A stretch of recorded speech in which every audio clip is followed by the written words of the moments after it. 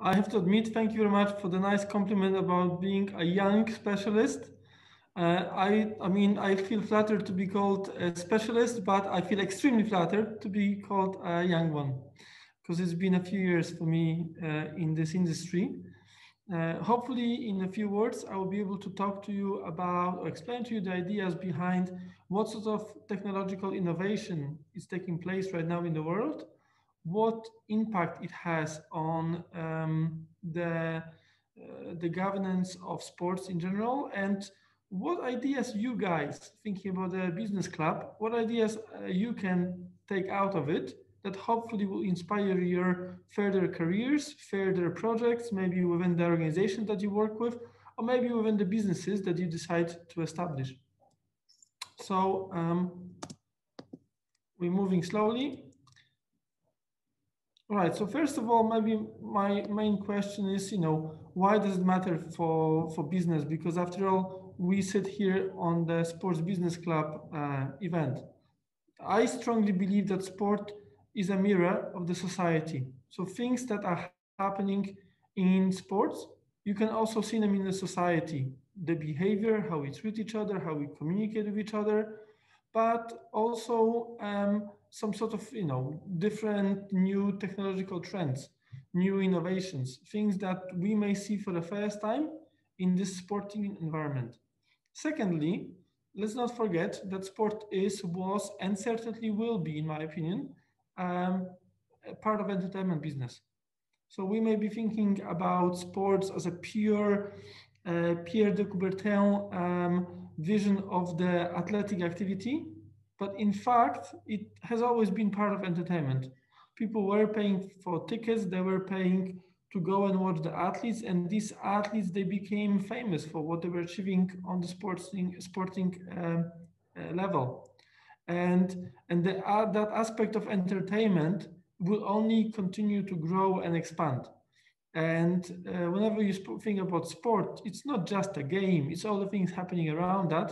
It's what makes us talk about it from monday to, from, to sunday not just on the match days and finally uh, i strongly believe that by understanding those trends we'll be able to predict both what sort of challenges we may face ahead and what sort of opportunities will also arise accordingly.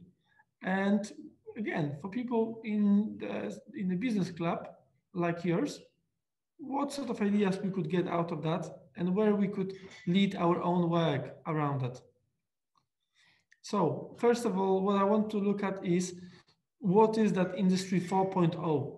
And when you think about industry 4.0 that has been here for probably a better part of the last two decades, you know, we're already thinking about the growth or emergence of something that probably will be the fifth industrial revolution.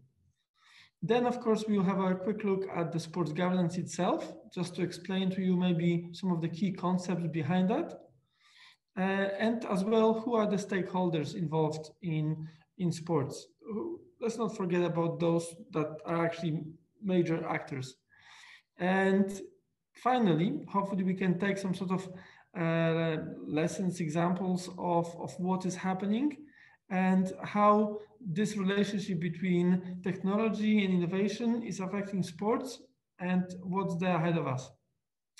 Um, before all that, I thought it would be a good idea to introduce myself in a few words as well. You've done it already fantastically. So without further ado, I mean, my contact details are here. You can find me across all social media platforms uh, with the same handle, name, surname, Robert Blaszczak. Um, I've been involved in sports media again for the better part of the last 20 years. Uh, not for a better part, for over actually 20 years when I realized. So this, again, this young specialist feels flattering. I work as a journalist, reporter, I've been both in front of the camera and behind that doing different uh, tasks. I also work on different assignments at the sporting events alongside with the uh, sports governance um, uh, actors. I've done some lecturing on the topics of sports business, sports innovation, uh, and, and governance, and as well some research. Um, I can disclose to you that I've recently also published um, a book chapter also about the, the sports governance and what, what will be ahead. And, and finally, maybe on the, on the sports business side, just to give you some color painting about my understanding of it. Uh, for the last year, seven, eight years, I've been working on that side of the business with the media rights, with the new technologies, with the gaming and the gamification of the fans ex fan experience. And currently I work at Synergy Sports.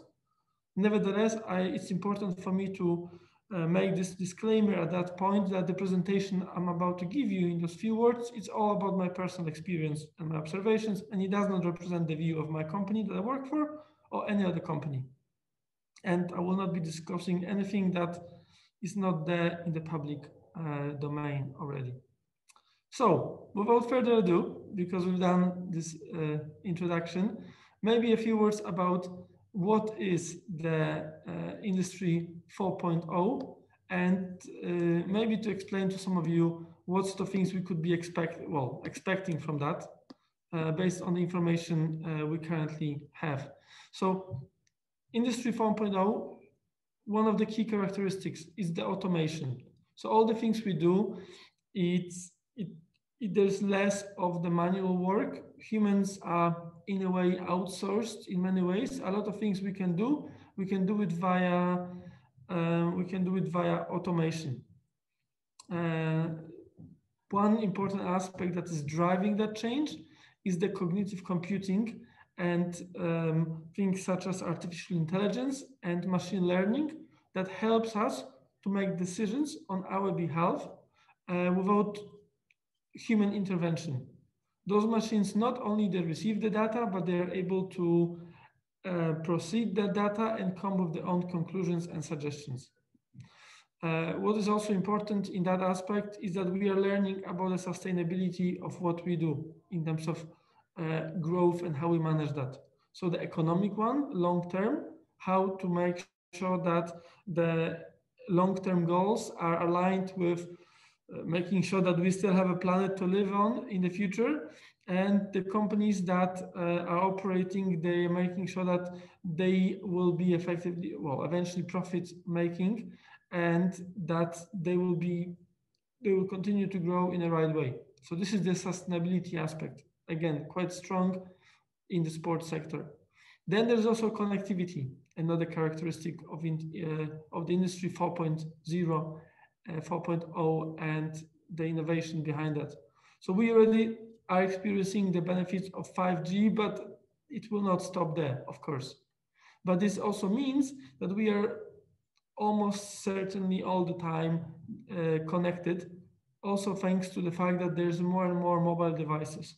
It's not just mobile phones anymore, but we are talking as well about uh, different wearable technology, all the things that allow us to be on the move and be connected with the internet, connected with the world, not just in our immediate proximity, but as well as far, far away and feel to be part of it.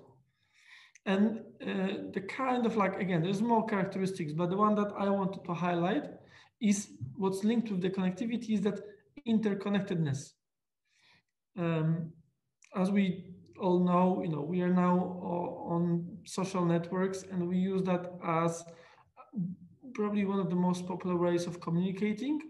And we also live in a platform-based um, economy. So suddenly every person can be trading some skills, products, or other services to another person in a much more uh, well easier and um, frictionless way than it was ever possible in the past.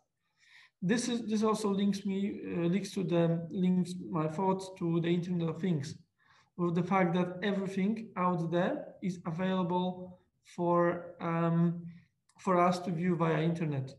There are no things that we cannot find over there out there in the internet and that gives us the opportunity uh, to, to create more inclusive experiences. Even the fact, when you think about the fact that we are having this conversation via a digital platform because of obviously the pandemic, it gives us this kind of um, opportunity to have a conversation that otherwise may not be feasible, either because of the logistics or perhaps even the costs. And then what is linked to that, of course, is the fact that we have access to more and more data. People call that the big data. Uh, very few people really understand what, what the definition of that really is, simply because the definition is a fluid concept. And to make sure that uh, things can well, be done faster uh, without human intervention, uh, we can be easier uh, connected with, with others and um, and then of course you know the decisions that we make they make make more commercial sense in terms of growth and considerations for the both economy and the environment.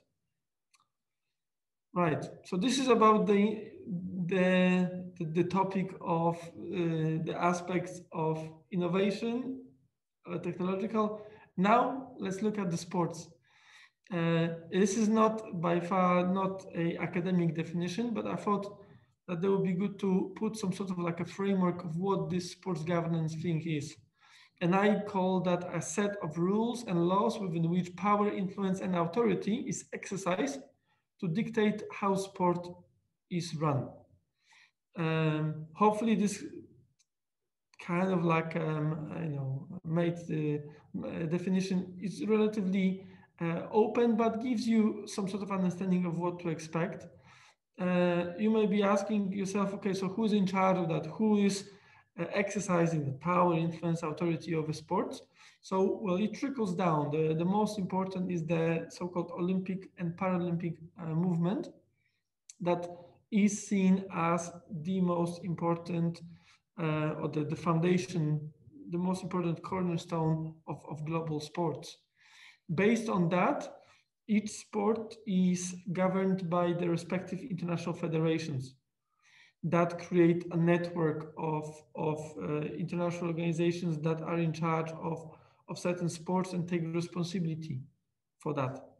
And then, of course, that trickles down to the national governing bodies. And I would say that, you know, this is a relatively simple model. So just to give you an example, Olympic uh, movement or Paralympic movement the international um, I don't know ice hockey federation, for instance, it's you know responsible uh, for that on the worldwide level, uh, and it's responsible for organizing the World Championships and Olympics. And then at the uh, national domestic level, each country have their own uh, federation for that sport to, to, to run their game and decide uh, what can be done, what cannot be done, and be in charge of that.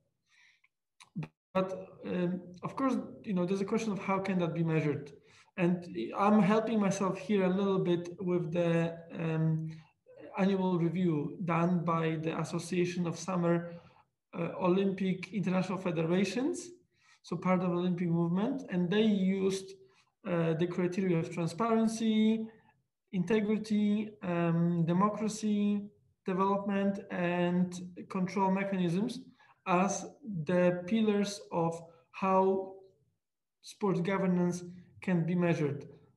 But to be perfectly honest with you, and as someone that has been working, or at least on the business side of sports for the last almost a decade, and in general, sports industry with the media and technology angle for the almost 20 years now, I would say that this is far from conclusive because thinking about how the industry is evolving and who really is, you know, pulling the strings, that definition and that scope of um, owners of that space definitely doesn't reflect what I see on day-to-day basis. Uh, the private sector is almost non-present in that conversation. The athletes, they also are um, not uh, as involved as they probably should be. So are the fans that I believe their voice is very rarely heard.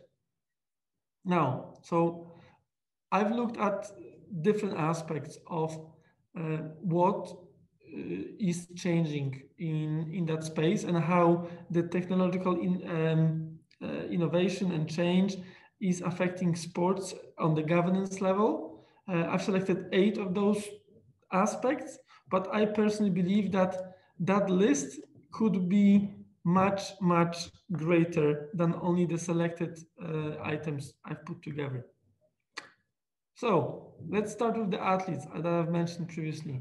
There is a wider shift of how the power moves towards athletes. Um, it's not just the fact that they become more popular and for instance the anecdote about uh, Ronaldo, Cristiano Ronaldo moving from Real Madrid to Juventus also took with him a number of followers across social media that brings some value to it. Uh, it's not just what recently was reported about the Kevin De Bruyne and his contract negotiations with uh, his club Manchester City based on his individual performance through data and um, different analytics tools that give you the better understanding of the player value on the on the pitch. It's also because those individual uh, athletes they became something of media hubs. They create their own content. They broadcast that whenever they want. They choose the form.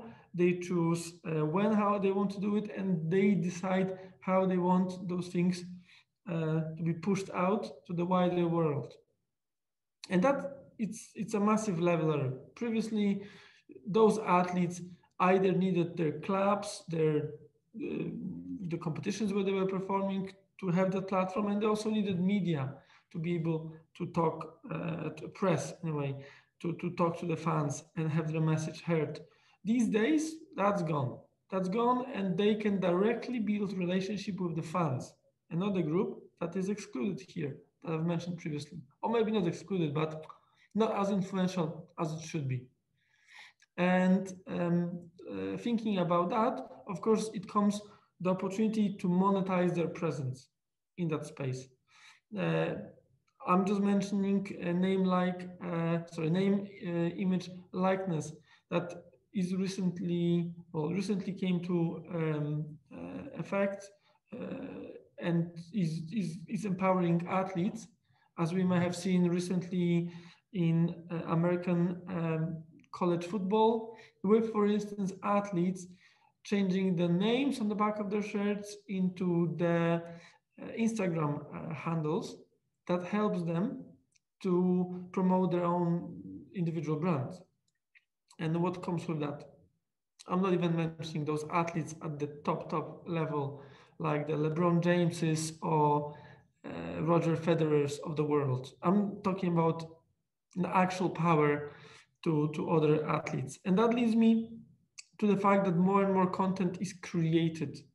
So we are consuming uh, currently more data points, more images. There are more hours of broadcast than that has ever been done. And this is also linked to the fact that we have uh, the automation that we previously mentioned. So we can produce and record more matches, take more photos, collect more data points than ever before and than we were ever interested.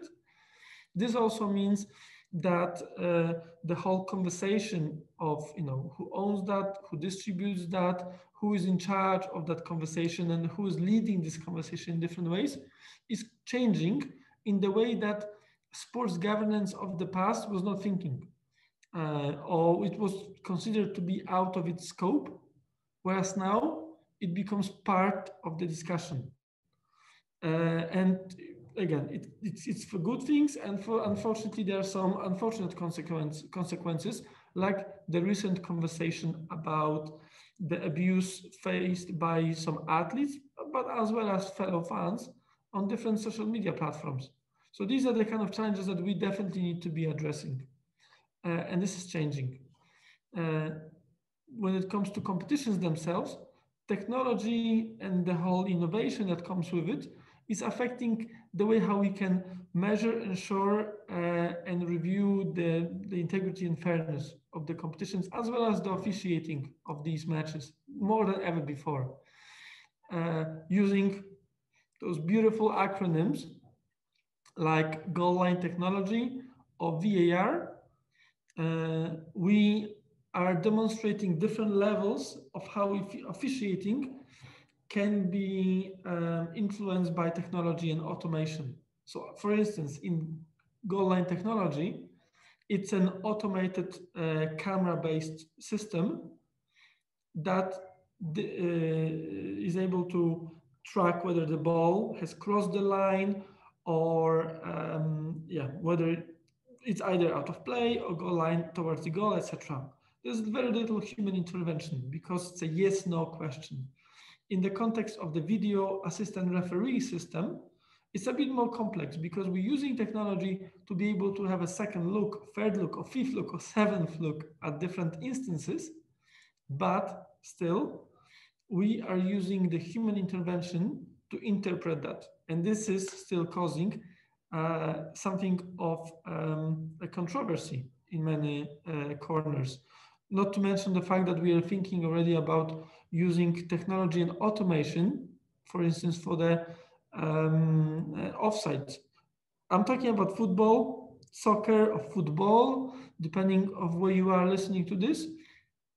Um, but uh, ironically, in other sports, they have been more uh, open about this technological change, or maybe those changes arrived at the time where there was not that much platform to complain about it and raise their um, well, some sort of um, different considerations, whether people were not fans of that. We didn't have uh, those social media platforms, and those sports were almost allowed this little leverage to, to work on their technology as it was improving and get to the position that we currently have in sports like volleyball, hockey, basketball, tennis, where not only they uh, I wouldn't say perfected, but they have improved significantly. But they are also part of the show, and this is quite entertaining. And I strongly believe that this will be this will also be a great commercial opportunity uh, soon in, in in soccer, football, like in other sports. Then naturally, the technology and the governance should not forget things like biological digital passports about player registrations. So we are now able to track who are the players competing in our competitions, where they were born, when, what maybe even some, some sort of injuries they've come across. When we think about the ongoing pandemic, there's a lot of things that um, the government can probably already uh, take from even the, from the sports world. So, you know, having mentioned the doping and having mentioned uh, both on the medical uh, side and how we can look at the previous um, uh, at the previous, for instance, uh, Olympic Games and how we can review whether uh, some athletes played fair or not. Of course, we also have the aspect of the technological doping, which that itself could be a topic of a lecture. Just when you think about the so-called uh, shark skin or, or the running uh, shoes, which again, you know, I can probably name some names, but I would prefer to stay away from the advertising of those brands. But you can quickly Google them. It's also because they courted some controversy. But this is a fascinating conversation. If we have access to better equipment, can we use that in our uh, sports? And if we can use that in our sports, how can we stack up those records from the past with the records of the present? Of course, we as humans are built differently now than we were 100 years ago, but also the running shoes have changed. And it doesn't necessarily mean that the athletes competing in 1904 Olympics should be wearing the same shoes that they were uh, they're running in in 2021. But then again, when is this cut-off moment when we decide that 1990s running shoes were good and those records are okay.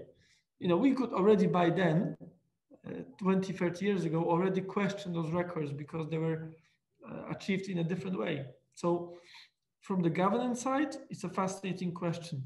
Once this obstacle is overcome, this also opens a lot of commercial and business opportunities to take that content uh, far and wide.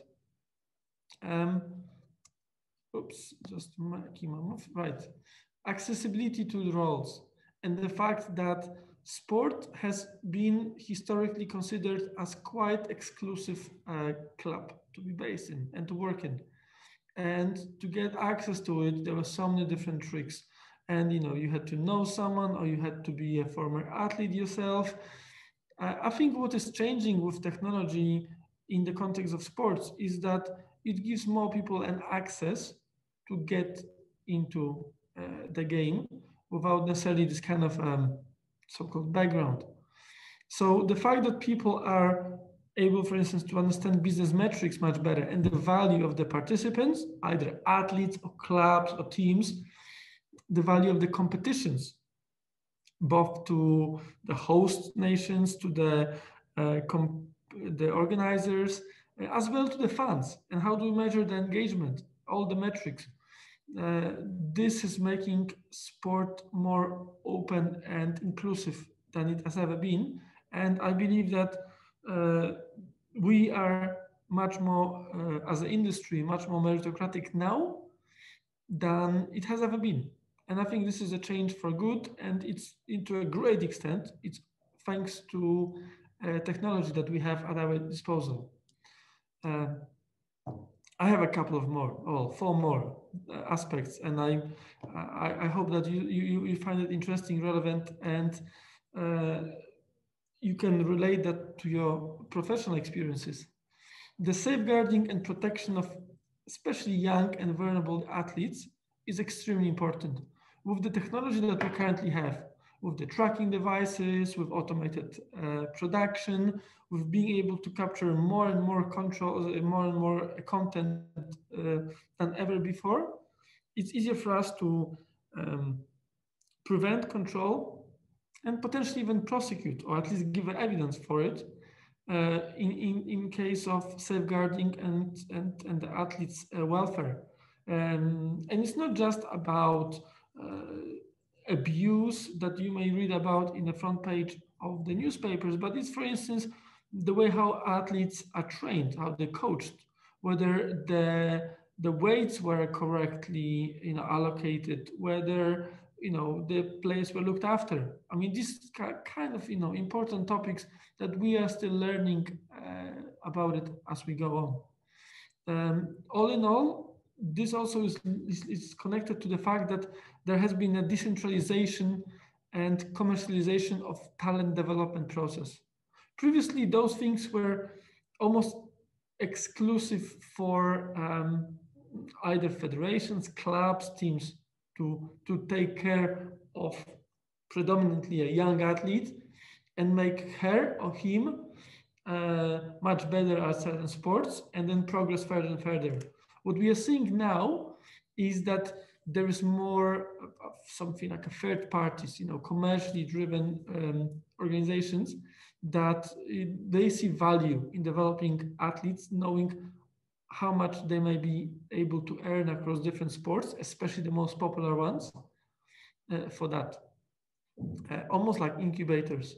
So, you know, these things will be uh, more and more important in the conversation about the sports governance and I strong, strongly believe that there currently probably aren't the right people sitting at the, the top table to address those things.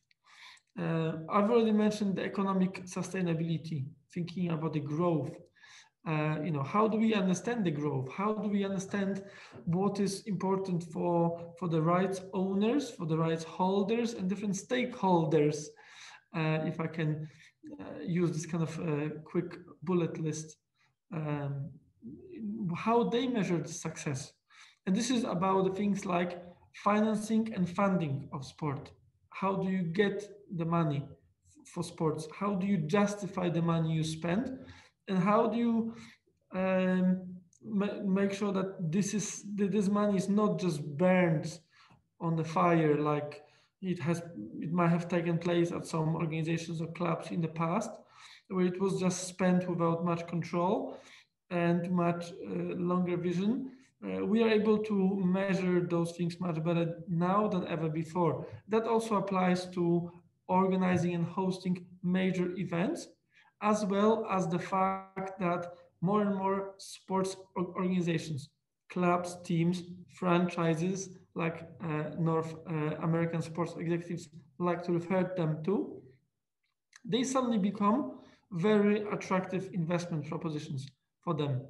And then, of course, like I already mentioned, is also the question of the value of sponsorship and advertising. It's no longer just how many minutes a certain logo or brand had exposure in the media on the TV broadcast. It becomes so much more complex. We need technology to be able to measure that. And by being able to measure that, we can attract more and more sponsors to invest into the game and to develop that. And that's definitely important because that also encourages private sector to be involved in those decision-making processes. Uh, I could not, not mention the emergence of the new sports in general, because whereas we talk about the Olympic and Paralympic uh, movement uh, in charge of sports, there's a lot of sports that I mean, they probably still aspire to be there, and some of them will even be debuting at the Tokyo Olympics later this year. But some of them, they are gaining more and more popularity, but there's a question of who is in charge of them and whether you know they will be part of this wider uh, Olympic or Paralympic movement, uh, global movement, and if so, you know, would they not want to have a seat at that table as well? So there, I mean, I've selected three types of different new sports that are emerging. One of them I see as the urban sports, reflecting the fact that there has been a great urbanization of, of, of, of our uh, world in the last 100 years. So 3x3 FIBA basketball, extremely popular, making its debut in, the, in Tokyo uh, later this year. Uh, same for BMX freestyle um, competitions that again it's a it's not something that we thought about as a sport even a few years ago. It's a very urban sport that is extremely popular, and there is a way of attracting um, them, uh, the users, to um, to the wider Olympic family. But then there's also a question, you know, the, about the equipment that they're using. Talking about equipment and technology, you have new sports that we will probably categorize as technology-led.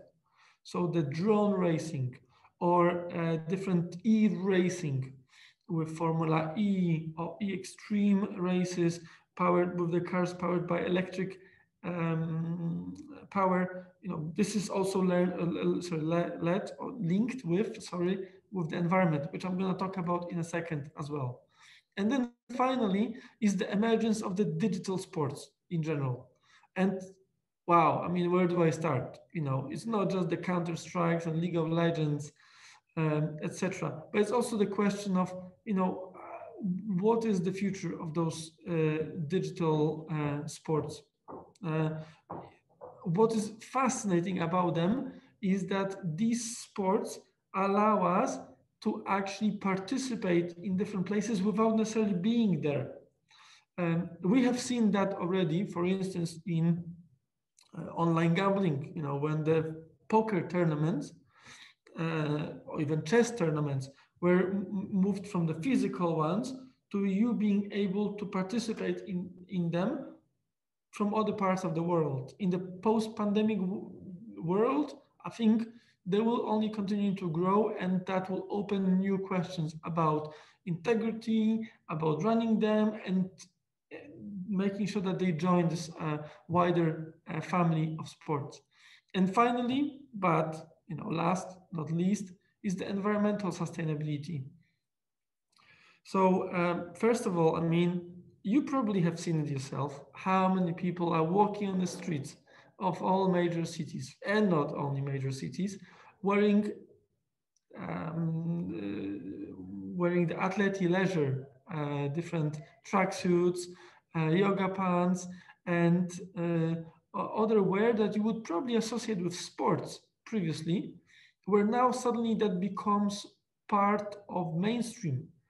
Uh, even the casual wear for the, you know, a business attire, it's perfectly fine to have a jacket for your meeting and then uh, wear uh, popular, elegant uh, trainers that go with it. And this is definitely changing, but this also opens up questions about how much of that is produced. How is it produced? And these brands in a sustainable athletic wear uh, space, I believe they're going places and they will be part of a wider, you know, uh, technological change driven by athletes that are the best suited uh, individuals or the best suited actors to promote it via networks to individuals users often produced at scale through automation. And of course, when it comes to environment, all these things uh, cannot go without thinking about hosting major events. And the idea of a lot of people traveling from one place to another, um, being involved in uh, uh, both pollution and the wastage in creating different venues and how to make sure that uh, they are part of a solution, not part of the problem. So having you know discussed all of these uh, items, we see those challenges emerging all the time, but for every challenge, I can see more opportunities. And this is the exciting thing um, about where the sport is heading thanks to uh, technological change. One thing, overarching thing that I did not mention and I did not list, but I think it's probably almost the most important because it's omnipresent is the leadership. Is the leadership both on a sports, technology, and business side that will be able to make sure that the all stakeholders are properly empowered and they feel that their voice is heard. And at the end of the day, also the planet is looked after. So these were the few words I wanted to mention to you. And well, uh, guys, uh, thank you for your attention. Uh, I hope you found some inspiration for your future business projects, but also your involvement in the wider uh, sports industry and some ideas of how to make it uh, even better, better for environment, better for us all, more inclusive. So thank you very much for your attention. Thank you, Robert. Um, yeah, but maybe going back to the presentation, I have a pretty important question, I think, for the future. So bearing in mind the changes that, that are coming or actually are uh, within the within the ecosystem, sports ecosystem. So in Europe, essentially, um, would you say that these changes are a pretty important and valuable opportunity to um, eradicate the gap between, for example, Eastern Euro clubs, Western Euro clubs. So remove the inequality, or these changes only will, you know, uh, make them uh, worse and bigger actually. It's a it's a massive question that you've asked, and it's a fair one. I think the right answer to that is we cannot be thinking about the problems of the future using the framework of the past. So there are a lot of uh, exciting things on the horizon, but it requires you to stop, or like maybe not stop thinking, but about it, but maybe ref reframe the vision that you have about um, about how sport is played within what structure. So again, talking about um, big clubs trying to form their own competition uh, on top of that, because I think you might be alluding to that. Not, not, not only, for example, if we talking about the technology, let's say technology for tactical development, for scouting, scouting oh, yes. platforms, for example. So whether these tools will be, I'm not talking about the governance per se, so regulations, but I'm talking about the strict technology in practice whether these technologies, for example, and these changes can help um, lower rank clubs um, get to the higher point, get to the elites, um, for example, Champions League, or, and that's my hypothesis, it will only make uh, the equality um, bigger. No, I think it's okay. I got you. Um, I definitely believe that again, just like in accessibility to the roles within the within the sports industry, technology is helping those clubs to uh, get access to some of the best talent and to grow and expand faster and into a better direction. So let me give you one of those, those ideas. A club that you would probably immediately associate with um, a big, powerful um, corporate business behind that, such as uh, RB uh, Leipzig and the, the whole Red Bull uh, group that's behind that. Yes, you know, they had the financial resources to take the club from the fifth year of German football all the way to the Champions League competitions. But you know, at the beginning, they were not like buying their way through by signing Ronaldinho's and Messi's into that club, but they were very smart about scouting and they continue to be as a group. So they've realized, for instance, that by uh, using uh, different uh, tactical analytics, sorry, not tactical, uh, scouting analytics uh, tools, they're able to find talents that might have been overlooked by someone else, or they might have been uh, deployed. previously, you would need to send a human, and now you could actually scout deeper and more competitions at the same time from the comfort of your office to begin with. And for smaller clubs, you know, there's so many different companies that are providing, maybe not so many, but there's there's a number of companies that provide that uh, technology. So it, it allows them to to find uh, different products, and of course those products come with different quality. You, the better quality, the more it costs. But to have the foundation on the sports level, it's you have a similar um, entry point on price. And I think that's that's great because that makes it more inclusive for you for the use of technology. Yeah, but that also leads me to the next question. So whether you uh, envision that in the future, in the immediate future, we can actually um, expect um, the entry of a big brand, big international brands such as Red Bull, for example, into the football and doing it on a global scale. So not only one one club as a let's say the toy for the owner, but as a as a big component of the big business, such as as I mentioned, Red Bull. Do you see that change coming, or we can expect more like um, you know, for example, Saudi Arabian companies buying the shares in the clubs, or we'll see more like this, you know, um, structured, structured, complete project, uh, long-term project, such as Red Bull, using, for example, technologies also. Well, it's there's a, there's a number of answers to that question because depends, you know, uh, how you look at that from, and the same person can give you different answers. Answers.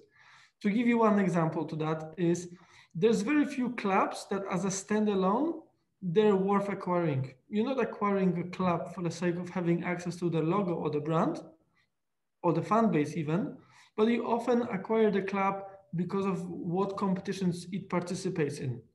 The reason why, for example, North American franchises are increasing their valuation is because of the competitions that they participate in, both in terms of being world's best in basketball, American football, hockey, baseball, you have no doubt that by acquiring a team there, a franchise, you're acquiring one of the best in the in the world. And now, you know, with soccer, both with MLS and uh, WSNL, the Women's uh, Soccer National League, uh, this you know this is also growing in that space. What is changing, however, is that people buy those clubs because of the competitions where they participate also in Europe or where they may be in the future. So buying uh, some of those clubs, you, you, you buy access to a competition, or maybe you buy a club that's below that competition, hoping that you're going to get there and you will get access to the revenues that it brings. But, but yeah, but the question, so sorry to interrupt you, but the question was more about like, so for example, let's say we have Inter Milan with the Chinese investors. We have Manchester City, PSG, and so on and so on. This is probably one term, uh, you know, they invest only, for example, in one club. They want the recognition in Europe, maybe some contacts, and deal like this. Then we, for example, have Red Bull, which is a more like long-term project with more on a science technology base or technology centric. And so, so the question is whether we will see more like the, these projects or pure investments, for example, the Chinese money, which is which is huge right now, and maybe they will enter. But you know, when these investors uh, come in into, for example, clubs, they just only give money. They don't, you know, uh, as for example in the case of Valencia, they invest, but they don't care. actually, and the club is now, you know, diminishing of its position in, in Europe. It doesn't play Europe, Champions League, Europe League anymore. But then we have this complete project, which is like example to follow. Even though there is a huge money, but there is a, a complete structure of what you want to achieve, how you want to achieve, and that's good for the for the for the football soccer, right? Mm-hmm. And so yeah, so the question was whether we can, you know, we can wait and we can expect more like this structure um, project. Also because football is not is not a predictable game. As we as we talked about this before even the event, that uh, you told me that this is you know the fact that you buy one, two, three players, even the coach doesn't mean that you will win. The probability is not so high because the football is more like a long-term game in the leagues, in the Champions League. And you can have all the money, but then, for example, uh, you have clubs that are, you know, for runners for 20 years and they uh, almost always, always win. And so the question is whether we, whether there would be a brand that would decide to to put the capital inside the clubs and build the long-term projects for 20 years, for example, as Red Bull do. Does. Look, uh, very so maybe a simple answer to a complex question is it's a question whether you understand buying club as an asset or buying a club as a liability. So for some people buying a club, it may be almost a reputational exercise of trying to become, to have access to a very expensive members club that allows you to have a seat at the table that you always aspire to sit. And you're using a club or sport more broadly to become part of that kind of conversation. And whether that will continue or not, and seeing in that case sport more as a liability, financial liability, it will depend on uh, what are the end goals of the person or the organization that is acquiring that club. For those who are thinking already about clubs as assets, they will be definitely looking at the long-term gain. They will be definitely using technology to, to get those marginal gains in because they they will see their, their acquisition of a sports club as something that will be both bringing them revenues on annual um, basis, but as well as it will increase its own valuation mm-hmm. and potentially would be an attractive uh, asset to sell later on, just like you would behave with stock exchange. Uh, the difference is that, uh, and the exciting thing about sports is that it's less predictive uh, in the way that um, you find the results of the game relatively quickly and you feel you can influence and you feel you can master that. But in fairness, there's a lot of uh, things that you can change with the technology, it's almost like getting a smarter algorithms that help you with the trading of on the stock exchange. And you know, and, and if you if you see uh, that as an asset, uh, you know, this this is this is great. Big, I have to mention that big difference here is of course is that most of those sports organizations, if not all of them, they come with a community of fans. And this is one of the biggest challenges that we will be facing. So let me explain you this. If I go to a stock exchange and buy shares in certain business, you know, you don't necessarily think about all the fans of that business. You know, you want that company to do well, but it, it's not that it's, you know, apart from the people already working there, you're not necessarily thinking about the, the impact of that uh, business, especially on a worldwide level, uh, with, uh, with, with the way how it performs uh, financially. Whereas, you know, sports organizations, they have this extremely important element of also the community and the, the aspect behind it. And this is something that I just wanted to reiterate because it's extremely di important differentiator. But this is also what makes uh, sport so amazing. You know, this is also why we call football the beautiful game because you know it comes with the community around it and being able to successfully not only achieve success on the balance sheet but also in the hearts of the people that keep fingers crossed for the club it's extremely important and those two things have to go hand in hand. Yeah, and talking about also about the, the, the fan, this is very interesting and important topic for the future. So um, the question connects to the fan engagement actually. So we see the very, very strong trend, uh, maybe not present in all the countries or, or the clubs, but very strong tr trend towards connected fan. So being, you know, the connection is very strong because it allows you to um, to execute a decision making power, for example, buying power of the fund and so on and so on. And very often these funds are not only local but on the national scale, very very frequently. And but what, what we see at the at the same time is that clubs want to diversify uh, the the the body of the fund. So, for example, going into the China market, US market, and for example, you work in the sports, um, connected to the sports media, for example, and you see that some good, very important matches in La Liga, let's say in Spain, are played very late Saturday, very late Sunday, so that we allow other countries to catch up with the time zones, let's say. And there were some complaints about this because, you know, fans, local fans, fans in Spain and Europe said like we are the those who pay tickets and so on and so on. We are the most connected. And why you know why are you doing that? And do you see that it, there is a contradiction? And it will be very difficult for clubs to at the same time take care of the local fans connect them as much as possible but at the same time expand to other markets because of the natural obstacles cultural time zones and so on how how clubs can you know, can do it at the same time? I probably wouldn't say it's a contradiction. I would say that this is both a challenge and opportunity.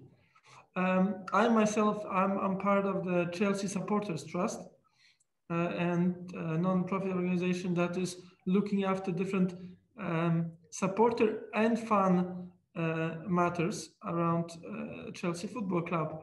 And what is interesting in that conversation is the difference between a fan that is keeping fingers crossed for the team from far, far away, but as well as those who go to the stadiums and chip in, contribute, participate in the in the club's life in person by going to the venues. Now, this is interesting because the pandemic has been a massive leveler. In most of the countries, no one actually goes to the stadiums. No one actually, you know, can follow this, the, the teams in a way that they used to do it. So the reason for you've mentioned those kickoff times to to to make it more attractive for more people to watch it is the, the well the, the, the challenge behind that is we need to find the way how to make them feel that they're not just fans or viewers of a club or a competition, but also how they actively contribute to that club's success. And of course, people say merchandise, sell the shirts. And it's been the most basic one, right? The idea of uh, you know players like David Beckham moving to Real Madrid and immediately uh, exploiting the sales of uh, Real Madrid shirts at the time uh, in Asian markets, even though you know the the share of revenues that the club may be getting is not necessarily significant, but it was you know driving much wider popularity of the club uh, brand in different territories, which would convert into sponsorship deals. But with what's happening now with technology, we can get much more smarter about it. The whole tokenization, the blockchain of how you get funds involved making them feel engaged through different um, competitions, uh, different choices that they make. For instance, about how the stadium looks like, what painting would be or mural uh, would be on some of the walls, what uh, would be the color of the third kit for the team. That maybe, if it's a football club, maybe they're gonna wear that three times in a year, and it's not that crucial. But for the fans, it gives them a bit of power and convert a fan or viewer from far, far away land into someone who feels that she or he is directly contributing to the fan, to the club's life somewhere else in the world. And technology helps us with that. And staying um, also within the, the range of sports media, because you have experience in that, and that's I think it's pretty important also question. So we see also the trend of expansion or higher and higher uh, evaluation of the sports uh, rights for particular leagues, for example, in Europe, in football Europe. Um, and we see that also there are less and less competitors because not every company can, you know, have money for that. And but there are some companies who are still not in the race, but they plan to do it, and they are very rich, such as Facebook, Amazon, uh, etc. Um, in three years, do you do you uh, envision that because DAZN is already present, it's maybe not the the, the you know that at the top, but quickly catching up with the competition. In three years, do you see that technological companies, very rich companies, uh, will acquire um, sports media rights and beat the competition because of the valuation? Because we can reach the point where where there will be only one, two companies in Europe where can can really you know have this money for that, the monopolies. Well, but then this is also why it's important to invest in different competitions and making sure that different competitions grow. So when one, for instance, become out of pocket for certain broadcasters, there is still an attractive, uh, so interesting proposition for the fans to watch somewhere else. Um, what I was mentioning earlier about the industry 4.0 uh, was this aspect of the social networks and platform-based economy. And these economies, they have access to the, so these economies, these platforms, these networks have access to much bigger data points about the users. And some of them, that's much easier for them also to commercialize that, monetize that. So for instance, you know, if they know that there is an interest, if you for you to, to follow certain teams or you have a pattern of uh, purchasing different products, you may be also more keen to spend money on something else. And this is what I think makes them stronger in uh, understanding the viewers and the value of the viewers as opposed to the traditional broadcasters. But nevertheless, the traditional broadcasters are not standing still they're also learning more about the viewers. They're also asking more questions. They're also, they're also trying to understand the, the pattern of the behavior of those users. So it's, it's, it's, it's, it, it would be easy to assume that you know those big uh, technology companies will overtake everything. You know, the big uh, broadcasters, but even the small ones, are working really hard to gain their own advantage. Uh, in, in that battle. Uh, I, I'm, i definitely will see more and more uh, social media platforms um, becoming the destinations to watch more and more live sports, but it will not be exclusively there. There will be still uh, space for different type of broadcasters, either the, for the tier one uh, most uh, elite content, as well as for a bit niche level uh, sports. I myself, during the pandemic, I got into sports, for instance, like surfing. You know, you cannot watch surfing on the big platforms. But if you go to some of the niche content, I love the content that they do. I love it's super engaging. But this is for the so-called super fans and people who are looking for that stuff. And like I told you moments ago, um, even the new sports, those new sports, no one knew of them 10 years ago, or they were not that popular.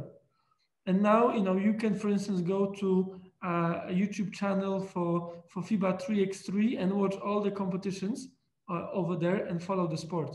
So I think there's a lot of cool ways that we can have access to sports and it will not just be through those major platforms. Okay, and the last final question is about the balance of power um, in football. Uh, we saw clashes a few months ago or months ago even during the international matches, the clashes between clubs, players, and federations, and the international body, for example, um, UEFA or, or, FIFA, right? Do you see the diminishing power of these international bodies that regulates many, many, um, many aspects inside the ecosystem and the growing power of, of clubs? who possess the value actually and the money they attract the money that UEFA, for example, um, using their them and using the spotlight. Um, how how you see that balance of power? Because you know the reputation of UEFA, for example, FIFA, is diminishing rather than money laundering, uh, Qatar, for example, World Cup, uh, Russia World Cup. So this was the the examples for the fans that you know we don't trust as as much this, these international organizations as we trust, for example, clubs, players, uh, because we are connected to them. Look, first of all, I honestly believe, and I genuinely believe that uh, those international organizations they have changed a lot in the way how they do their business. And the things that we might have seen 10 15 years ago about the governance it, it definitely has improved and it has changed. Uh, so of course you know there was a lot of criticism around that. In a way one of the biggest well the best ways out of that uh, um, is to is to address another a challenge which is the fact that if if you are both regulating the competition but you're also organizing that competition it and then sell the rights to commercialize it uh, it, it it it puts you in a vulnerable position. And i think you know for those organizations this is something that they should look into in order to protect their position in the future um, when it comes to you know the whole landscape change I don't believe that we should be taken hostage of the past and of the history. We should, of course, respect the traditions that we have, but it doesn't mean that the way how the competitions were structured 50 years ago, it should be structured the same way in 50 years' time. Uh, not to not to mention the fact that the technology, the very core topic of our conversation, it has changed. It's easier for us to travel. It's easier for us to interconnect. It's easier for us to watch a lot of content from different places at the same time without necessarily leaving our own sofa to follow that and feel, feel engaged. So what will change, in my opinion, is the understanding of how do we consume sports as a fan, the way how we can interact with the sport more directly. Um, and, and, and for those uh, for those big organizations, you know they they can also protect themselves much more by um, relying on those partners to to to run those competitions for them and taking almost a step back and focusing on regulating uh, things from the legal from the regulation from the laws etc perspective and i think this will be eventually the path for for sports across different levels Okay, thank you, thank you for that for that uh, answers. Yeah, also great to believe that um, the power that can be within the fans, how they consume the sports, will also actually govern how organization responds to that and what path they will, um, you know, take. Because previously it wasn't the connection because of also lack of the data. Now we have uh, the value that people, companies, organizations, federations see the value of data and how we can personalize the content. And for that reason now the user actually without the awareness sometimes but is the decision maker by the actions he or she takes. So yeah i greatly believe that uh, he or she will be the decision maker in the in the future of sports. Okay so thank you very much for for that meeting. That was very great uh, we thank you very much. Uh, it was pretty interesting. And the sport governance i think is very undervalued topic. Um, so you know we look forward to to hearing it more in the in the media in the mainstream but also maybe in the future meetings. Look i'm happy to um, share some ideas with you and hopefully you also uh, you also understand different concepts within um, the sports industry how it's uh, not just run but how it's governed and you know who's in charge of taking that further and you know people at institutions like yours uh, take that inspiration, look across different sectors because the world will be even more interconnected. In sports industry will be more interconnected with the consumer industries, for instance. And, and with all that knowledge, you guys will be also able to take it further and to convert those ideas into some cool projects and maybe businesses. Yeah, for sure. I hope so. Okay, so so thank you for today. Thanks a lot and yeah, have a good evening.